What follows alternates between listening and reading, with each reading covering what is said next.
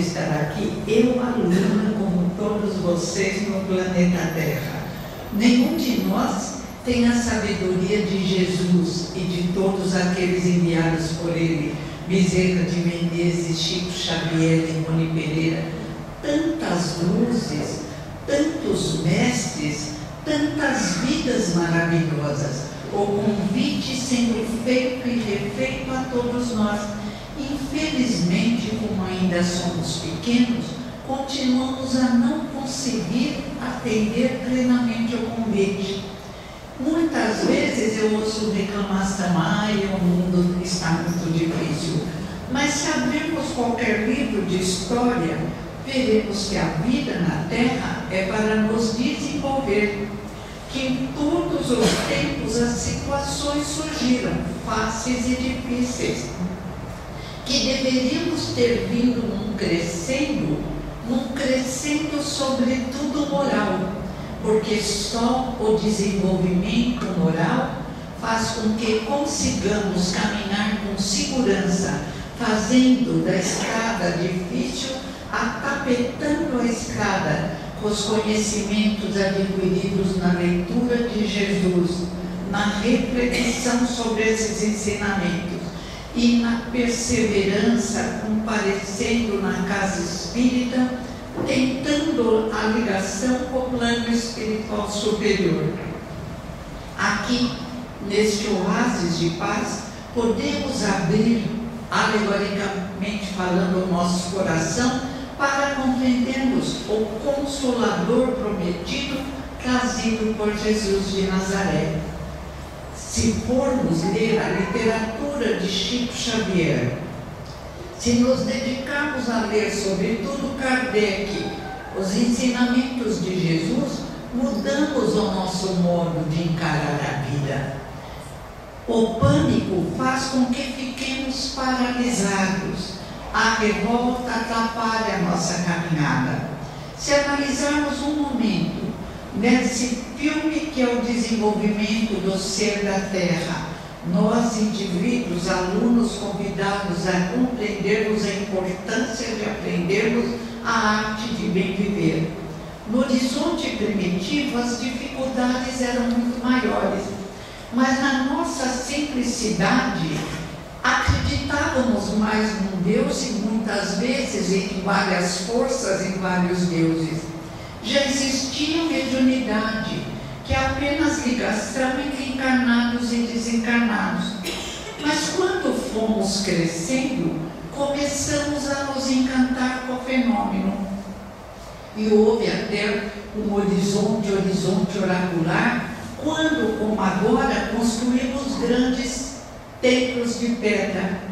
Todas as religiões se encantam com o poder do templo, da beleza, da grandiosidade. E mesmo ali encontrávamos dificuldades. E se pararmos um minuto para refletir, nós vencíamos as dificuldades. Fomos nos desenvolvendo. Mas como vencíamos? Porque então nossa fé irracional fé de crianças pequenas, fé cega, mas acreditávamos que os nossos rituais, que os nossos cultos, que o nosso apego ao Deus que havíamos criado resolveria os nossos problemas. E nós os resolvíamos. Às vezes adiávamos para outra encarnação. Agíamos muitas vezes errado. Mas crianças muito pequenas não tínhamos, não apresentávamos apenas alguns a ousadia dos maus, dos fortes. Mas nós que aceitávamos a vida, que errávamos, mas tentávamos acertar, fomos sempre protegidos por um exército de luzes que vibra por nós no planeta Terra. Os séculos foram passando milênios e milênios, como diz Anderlis, sempre professores atuantes ao nosso lado, um espírito que se dedica como um verdadeiro cuidador a velar por nós, convidando-nos a desenvolver a fé, a confiança em Deus, a certeza de que nunca estamos sós, a perseverança na caminhada em direção à luz, a compreensão de que precisamos nos expressar em boas leituras, ocupar nossa mente de uma forma útil, desenvolver a sabedoria. Hoje a Nena disse uma coisa muito interessante. A intelectualidade, o conhecimento só não dá sabedoria. E nós, alunos do planeta Terra, somos convidados a desenvolver a sabedoria, o discernimento, a saber o que é certo, o que é errado, o que é justo, o que é injusto e o melhor caminho para conquistarmos a paz. E então, felizes com a conquista da paz, da serenidade, conseguiremos nos preocupar mais com o próximo, com aqueles que não têm sequer capacidade de entender o que é necessário para nos sentirmos melhores, com aqueles que não conseguem sequer trabalhar para conquistar o mínimo para se alimentarem, com aqueles que deixam se levar por qualquer mentira, permitindo que os maus tomem conta da terra. Ah, diriam vocês, mas eu estou tão preocupado com os meus problemas, estou fechado em mim mesmo com os meus problemas, que não consigo ver nada nem ninguém. Que me importa o pessoal de Moçambique? Que me importa o pessoal da Venezuela? Isso tem um nome terrível: egoísmo, indiferença, falta de amor. Se a espiritualidade superior pensasse dessa forma, estaríamos perdidos no planeta Terra. Não teríamos a oportunidade de novamente relermos os ensinamentos de Jesus de Nazaré. Não conseguiríamos fugir da atração dos bens da terra, dos desacertos, dos desequilíbrios, nesse século de luzes e sombras, dos convites terríveis que receberíamos se fôssemos jovens. Não só as drogas, as más companhias, o convite a todo desequilíbrio moral e espiritual. Ah, se não despertarmos, não desenvolvermos o discernimento, não descobrirmos qual é a boa árvore, como explica Jesus, é boa árvore que dá bons frutos, seremos confundidos. João diz, num dos trechos do Evangelho segundo o Espiritismo e na Bíblia, é claro, tantas serão as mentiras e as confusões que, se possível fosse, abrindo parênteses, é possível, fecha parênteses, até os bons se confundiriam. Os relativamente bons estão se confundindo. É claro que precisamos do necessário e da consciência tranquila para sermos felizes, mas só conseguiremos acalmando o nosso coração num livro muito bonito, Ser e a Serenidade, Herculano Pires diz: caminhamos numa espiral, numa ipseidade, a espiral de evolução, segundo os filósofos tradicionais e os filósofos eh, espiritualistas e os materialistas. Essa espiral de evolução começa alegoricamente, nós vamos começar nossa caminhada no horizonte primitivo, ainda abertos para a nossa comunidade, amigos, irmãos.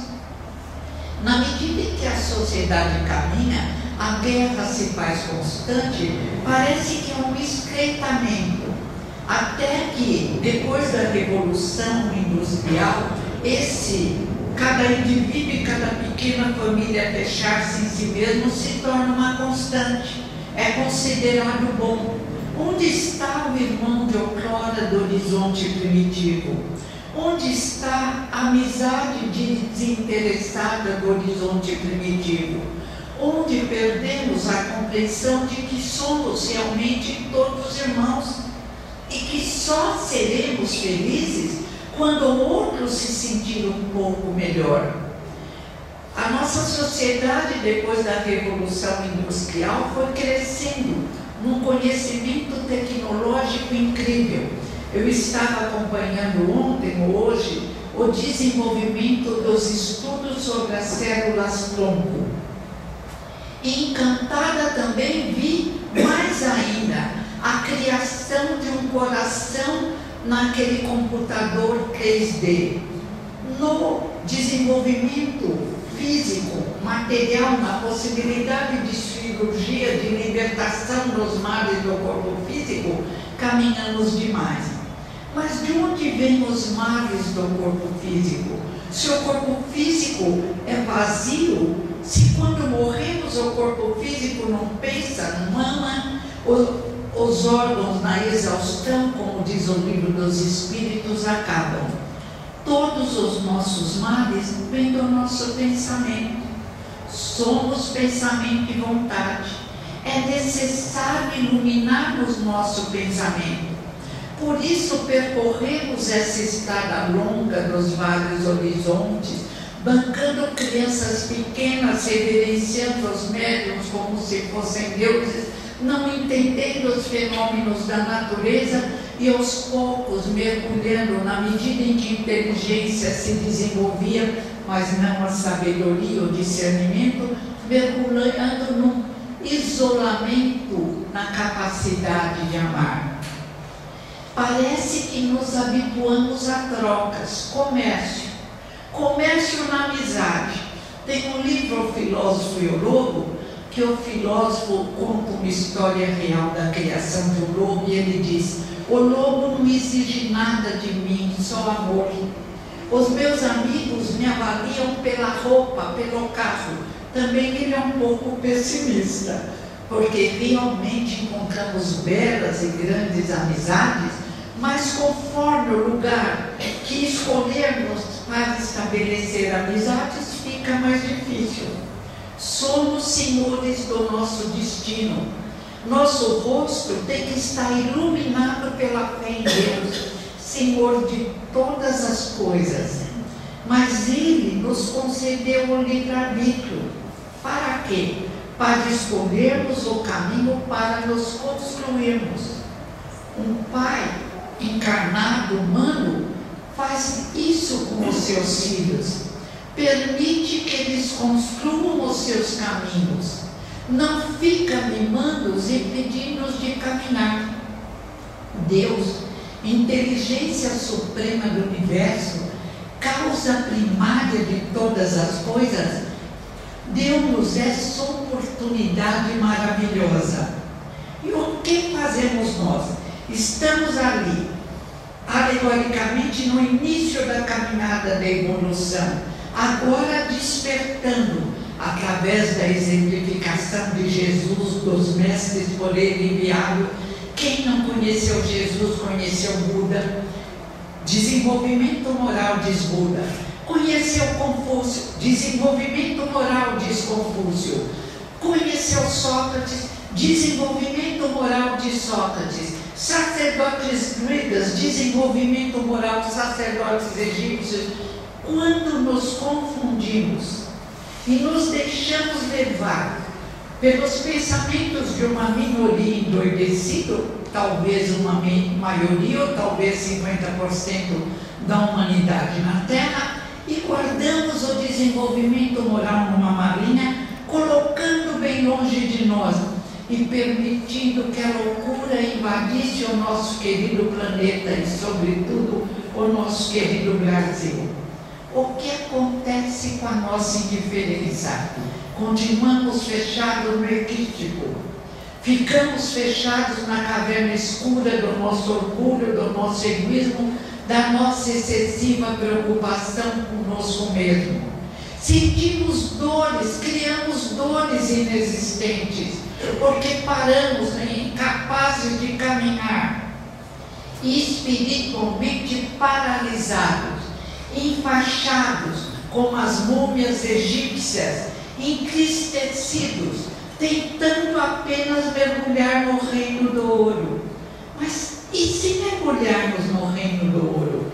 Quanto tempo durará esse mergulho?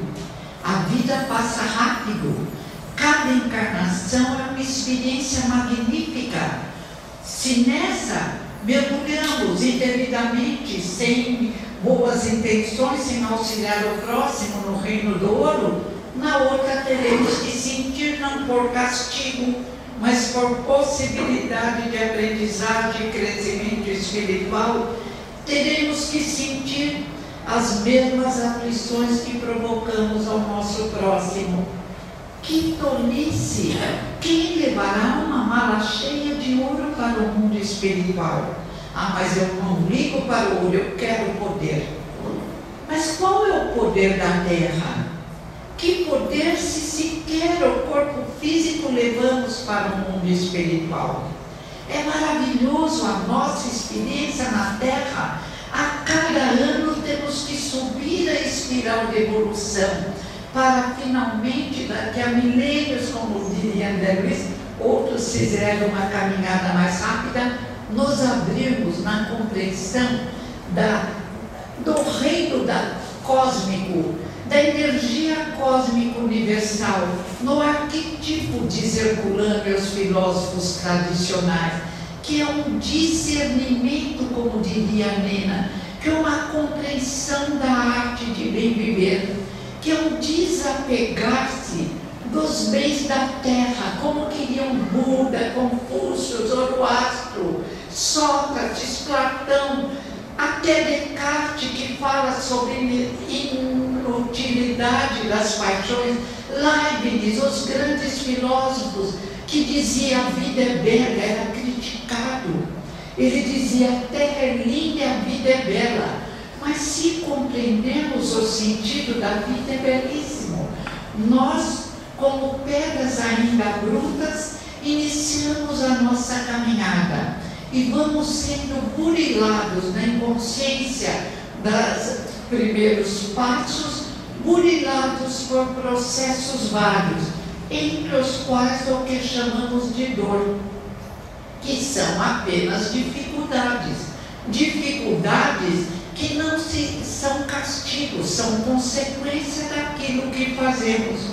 Quando temos um rio para atravessar, se construímos uma ponte bem feita, não caímos no rio.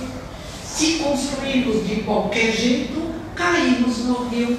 E se não soubermos nadar, por consequência morreremos afogados. Castigo não, resultado de experiências mal refletidas e mal preparadas, da falta de ligação com os irmãos mais velhos, sempre dispostos a nos auxiliar. E se fizermos o contrário? E se entendermos a finalidade da vida e como o doutor Adolfo Bezerra de Menezes compreendemos que não viemos à Terra para ser felizes de qualquer jeito, porque não conseguiremos a felicidade se não amarmos o próximo como a nós mesmos. Se não fizermos ao próximo o que queremos receber. Doutor Adolfo Bezerra de Menezes, o médico dos pobres, uma vida de dedicação a todos aqueles que sofriam e não podiam pagar doava o anel, a, o agasalho, dava receitas gratuitas. E aquela pedra que se iniciou bruta nas primeiras expressões da caminhada, transformou-se num gigante de luz que nos auxilia até hoje. E Chico Xavier, mineirinho, simples, pobre, nasceu em Pedro Leopoldo, ele poderia, quando começou sua mediunidade incrível, o fenômeno me encanta, desde o do horizonte primitivo, como conta Bozano no seu livro Manifestações Supranormais entre os Primitivos, não somos nós que inventamos a mediunidade, ela aparece em toda a história da humanidade, aparece na Bíblia, intensa no horizonte primitivo e mais ainda no horizonte oracular quando construímos grandes templos de pedra reverenciando oráculo. Chico se expressa como um oráculo. Se fosse no horizonte oracular, construiriam templos para ele. O reino do poder tentaria atraí-lo. E nessa encarnação, o mesmo reino estava lá: o reino do ouro, o reino do poder. e os outros reinos de quaisquer desequilíbrios, que muitas vezes ofuscam os olhos daqueles que nasceram como todos nós, preparados para a vitória. Chico escolheu o caminho árduo do crescimento espiritual. Nunca pegou um tostão dos livros que psicografou e foram publicados. Doou todos. Morava numa casa humilde. Nunca pensou no próprio bem-estar. Ficava até de madrugada atendendo aos que necessitavam. Chico se transformou num farol de luz que continuará a nos iluminar através dos séculos. E também Ivone Pereira, que conta humildemente que ela iniciou com muita dificuldade, que havia em outras encarnações se suicidado, que havia se entregado à vingança, prejudicando o próximo, mas de repente escolhendo o caminho, construindo o caminho da dor, ela entendeu que estava no caminho errado, que de nada valia o poder, a capacidade de se ligar, a beleza efêmera, a juventude, que tudo passava. E como diz Maria Dolores, só Jesus permanece e as nossas experiências, as nossas vivências nos induzem a um comportamento mais adequado.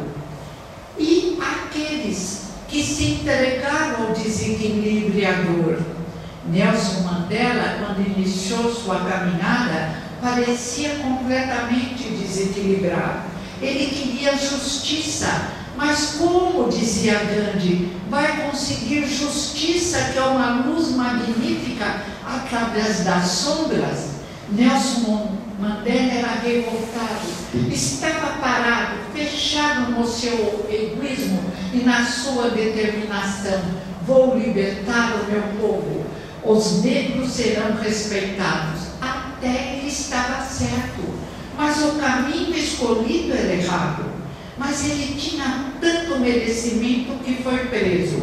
Ah, que castigo! Não é castigo, é lição, libertação solto ele acabaria morto, torturado, preso, ele teve que quebrar pedras e descarregava sua revolta quebrando pedras. E começou a refletir. E dormia tão cansado que provavelmente era recolhido no mundo espiritual, porque enfrentou a dificuldade com garra, com coragem. Aprendeu a viver aprendeu a não falar tudo o que pensava, aprendeu a ter tolerância, aprendeu a começar a perdoar aqueles que tentavam maltratá-lo e se impôs até mesmo na cadeia.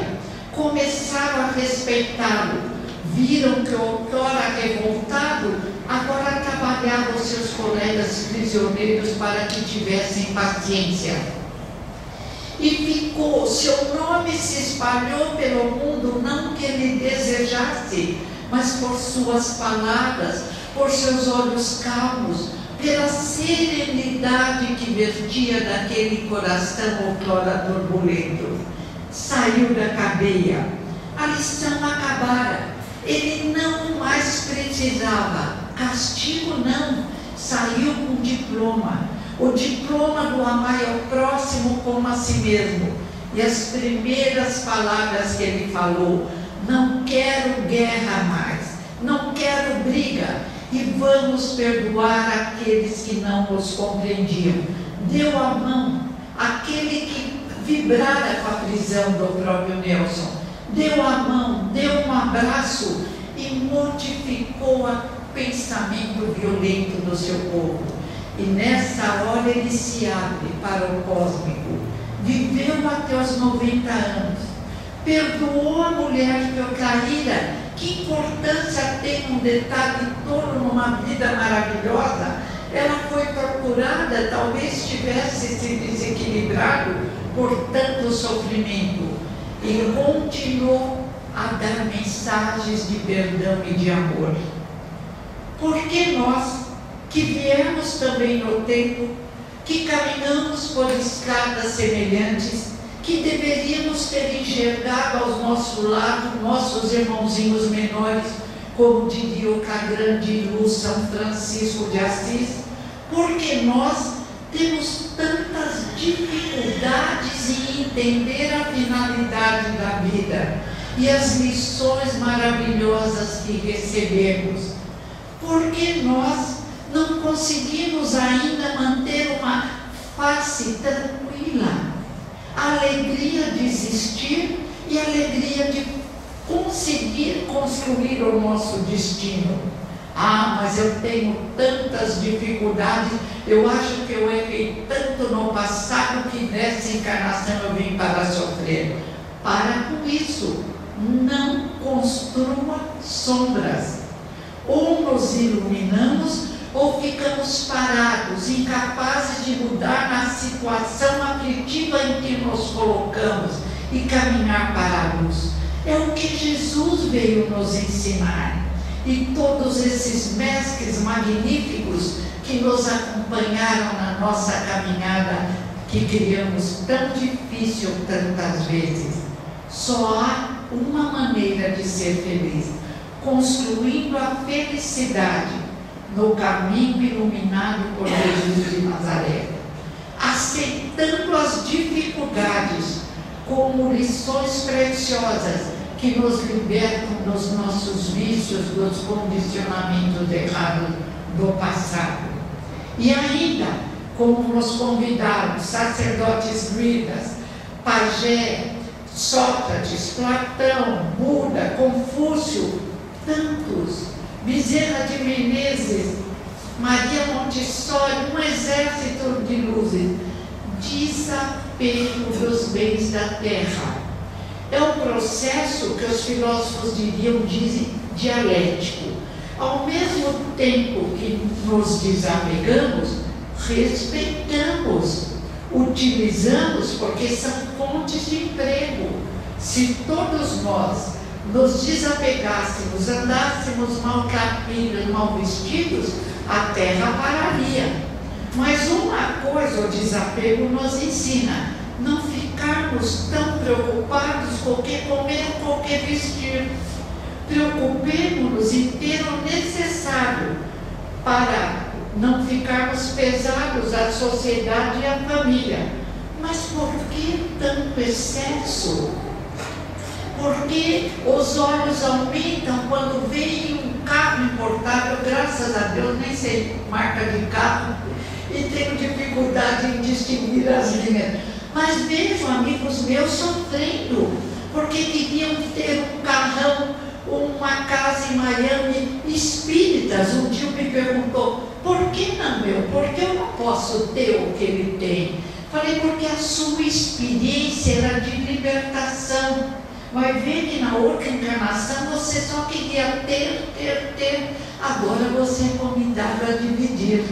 Agora é convidado a exemplificar o que Jesus fez por nós. Agora é convidado a sentir que não existe cruz para carregar, que existem apenas experiências. O bom músico treina com alegria horas para tocar ou compor uma boa música.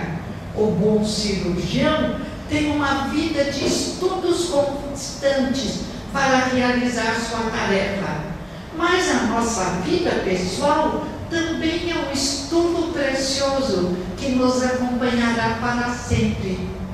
Tantos estão interessados apenas em processos rápidos processos que eles acham que gratificam rapidamente, mas não há gratificação maior do que neste mundo turbulento conquistar a serenidade no coração.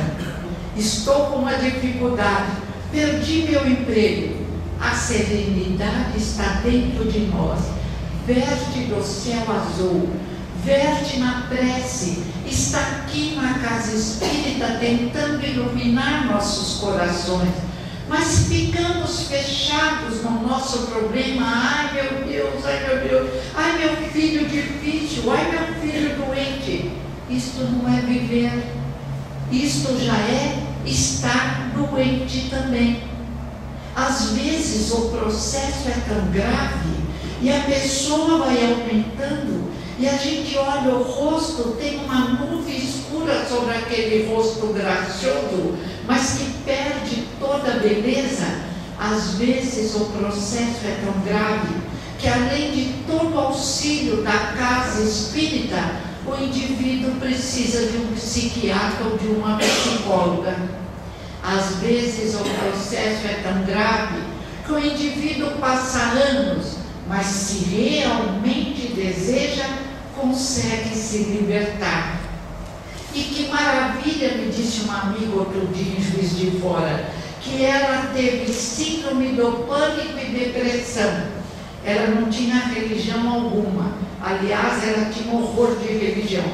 E de repente ela não sabe como uma amiga conseguiu levá-la para a casa espírita. Como? Auxílio de Deus. O Espírito que vela por nós e nós estamos mergulhados na energia divina. O Pai vela por nós. Jesus vela por nós. Buda, Sócrates, Platão, um exército de luzes. E ela se viu na casa espírita. Mas o que mais impressionou na casa espírita que ela frequenta foi o auxílio àqueles que sofriam. Crianças pequenas que precisavam de uma escola boa, que realmente os ensinasse a ler e escrever, e ela foi trabalhar na escolinha. E trabalhando, ela se apaixonou pelas crianças e foi conhecer as famílias das crianças. E encontrou risos e alegria em casas com muita necessidade.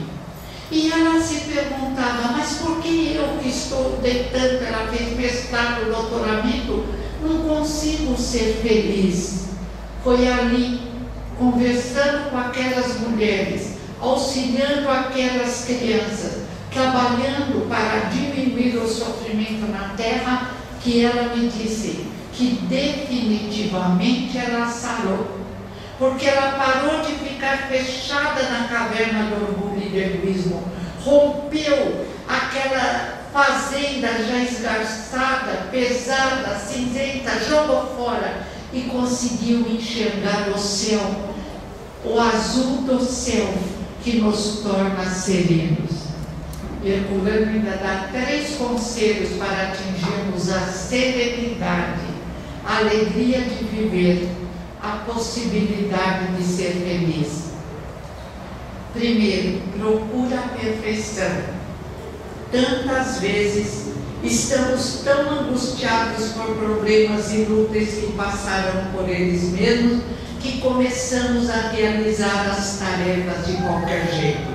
Aí começamos a reclamar que nada está dando certo. Por quê? Porque tem que fazer as coisas perfeitas tem que focar cada tarefa que vai fazer. Às vezes, outro dia um parente meu tomou três vezes o mesmo remédio para a pressão, foi parar no hospital. Por quê? O que, que a gente deve fazer? Arruma uma caixinha de remédio, marca os remédios e caso mais complicado, eu tomo esparadrapo, já tomei, já. Não. Mas tem gente que fica tão preocupada. Outro dia também encontrei uma mocinha na rua desesperada. Eu falei, o que foi? Ai, meu filho para a escola sem lanche. Eu fiz o lanche nem sei onde eu pus. Eu falei, mas se acalma, toma um floral, vai pedir auxílio para uma casa espírita, toma uma homeopatia. Assim você vai ter um infarto. O que, que é isso? Tá louca? Estão hoje em dia com um filho só e parece que tem como antigamente oito, sete. Encontrei uma senhora casada até com César Reis que teve sete filhos, tranquila, feliz, calma. Eu falei, foi muito difícil. Ela imagina, um tomava conta do outro. Eu falei, imagina. Todos vivos, a filha, a número um, estava do lado junto com os pais. Eu falei, meu Deus, parece que quanto mais caminhamos, a civilização vai apresentando uma sofisticação maior, perdemos o discernimento. A intelectualidade aumenta. Hoje a física quântica encanta todo, todo mundo quer saber da física quântica. Eu achei, na minha, uh, no meu modo de pensar, que física quântica, espiritismo, ensinamento de Buda, de Sócrates, de Platão, tem muito a ver. Mas um doutorado em física quântica ficou bravo comigo, falou, não, como se dissesse, eu sei o que é física quântica, cala-te. Meu Deus do céu, mas se a força do pensamento é o que eles aconselham, se o nosso pensamento constrói ou destrói, se o nosso cérebro não contém tudo, existe alguma coisa além, para mim nada de intelectualismo e desenvolva o coração para ter o discernimento de descobrir que no tempo e no espaço o conselho foi o mesmo. Como diria Paulo, desperta tu que dormes, levanta-te dentre os mortos e torna a caminhar. Larga os pensamentos menores, você não tem que ser o maior, ou tal, ou melhor. Somos todos iguais de mãos dadas em cada encarnação um pode aparentemente passar na frente do outro, mas raros são aqueles que realmente se expressam nas luzes do universo para os, a qual fomos criados. Quando começamos, crianças muito pequenas que somos perto desse universo brilhante, com irmãos mais velhos, quando compreendemos um pouquinho, como diz sábio, sei que nada sei, a nossa visão se modifica. As notícias mais difíceis são encaradas com tranquilidade, porque nós não somos Deus, porque existe um ser supremo, sábio, amoroso, poderoso, velando por nós. Porque alegoricamente estamos na mão de Deus e cientificamente falando também, estamos mergulhados na energia cósmica, sujeito às leis cósmicas, temos dentro de nós a lei natural, a lei de Deus. Fomos preparados para a vitória. Estamos aqui recebendo todo o auxílio necessário para nos recompormos dos desgastes que o nosso pensamento desconfiado, desequilibrado, mergulhado em complexo de culpa do passado, nos desequilibra e nos perturba. Então vamos tomar nossa linha. Nunca te deixes abater, segundo o conselho. E é preciso exemplificar. O filósofo Herculano Pires nunca se deixou abater porque sabia que dificuldades fazem parte de um planeta em desenvolvimento, planeta Terra. Agora, as dificuldades seriam menores se nós, os relativamente bons, cuidássemos da direção do planeta. Um pouco preguiçosos, sem muito discernimento, mergulhamos na, na moleza. Ah, deixa, eles querem tanto tomar conta, deixa que tomem conta. E quem foi tomar conta? Os ousados. Os ousados não vão. Mas aos poucos vamos despertando. Primeiro para cuidar de nós mesmos, do nosso mundo interior. Quando nos libertamos dos nossos problemas, quando sentimos a luz de Deus começar a iluminar nosso coração, quando começamos a desenvolver a fé do tamanho de um grão de mostarda, como dizia Jesus, conseguiremos remover as montanhas dos nossos desequilíbrios interiores e dos desequilíbrios exteriores. Conseguiremos sempre descobrir uma forma de resolver os problemas. O que não podemos é adoecer por nos entregarmos ao desânimo a suspeita de que Deus não nos ama e não nos atende, ou pior ainda, a pensar que não merecemos o auxílio divino. Jesus se sacrificou por nós, saiu das luzes, da expressão de luz pura que era e vestiu a túnica pesada para ele, escura da, da, da pele, da carne para nos exemplificar, gesto por gesto, a arte de bem viver. Aceitou, tolerou aqueles apóstolos difíceis que não o entendiam, simples, bons, mas ignorantes. Conseguiu fazer deles divulgadores do conhecimento. Conseguiu melhorar o modo deles pensarem e agirem. E demonstrou tantas vezes a serenidade do seu coração. Serenidade não é inércia. Quando precisava, ele foi firme uma serenidade exige indignação justa, com discernimento para aquele que compreende o erro do próximo. É caridade despertar aqueles que estão adormecidos. Quando, naquele episódio, antes de seu corpo eh, ficar na cruz e ele partir em toda a luminosidade aparecer na chamada ressurreição, quando me bateram no rosto, ele disse tranquilamente, olhando nos olhos dos inquisidores, porque tratavam como tal: Por que me bates? Por acaso eu fiz alguma coisa, eu te bati? Em todos os instantes da vida, ele demonstrou a serenidade. Herculano lembra desse livro lindo, Ser e a Serenidade o príncipe André Guerra e Paz de Tolstói, passou uma vida intranquilo, infeliz, angustiado, não aproveitando o que ele pedira nessa encarnação, mostrando que ele escolhera lições erradas. Era poderoso, era rico, tinha tudo, mas nada tinha. Só quando ele cai ferido numa batalha, ele consegue pela primeira vez enxergar o céu então ele diz: Meu Deus, como eu consegui caminhar com tanta irracionalidade? Como eu consegui passar tantos anos tolo, lutando pelo que está ao meu alcance? Neste momento, a serenidade desce do céu e invade minha alma. E todos nós pensamos isso. Ao estar diante de um problema, o primeiro impacto é meu Deus, depois é Deus, me ajude, obrigada por confiar em mim, por eu poder mostrar que estou crescendo. Só eu sou fraco, Pai. Ajuda-me a vencer este problema. E depois nós vemos que conseguimos vencer. E ficamos felizes e passamos a nos respeitar e eliminamos os complexos de culpa que nos atormentavam.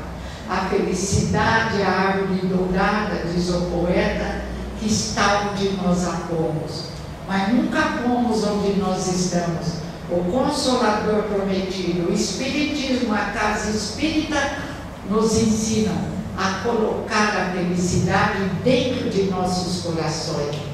Vamos sorrir, vamos elevar o pensamento a Deus, vamos ter, como diziam os Vedas, gratidão a Deus pela bênção da existência e por podermos, nesse querido Brasil, nos reunirmos para entrarmos em contato com a espiritualidade superior. Somos construtores do nosso destino, canção de Almissate, e temos a capacidade de ser felizes, porque somos capazes. Obrigada. Paz, alegria e fé. Senhor Jesus, nós te rogamos, Mestre amado, que nos ampares a todos que tenhamos a consciência do dever cumprido. Mas te rogamos neste instante, Mestre, mas por todos que nos dizemos religiosos, para que tenhamos a consciência da palavra escrita ou falada que o conhecimento possa fazermos melhor do que já fomos ontem. E te rogamos, Mestre, que possamos sermos melhores amanhã, que possamos dominar os nossos prazeres e sensações, menos de nível mais acessíveis ao corpo carnal. Te rogamos, Mestre, que tenhamos acima de tudo a fé raciocinada e conduzida ao altar da caridade. Se conosco, Mestre, hoje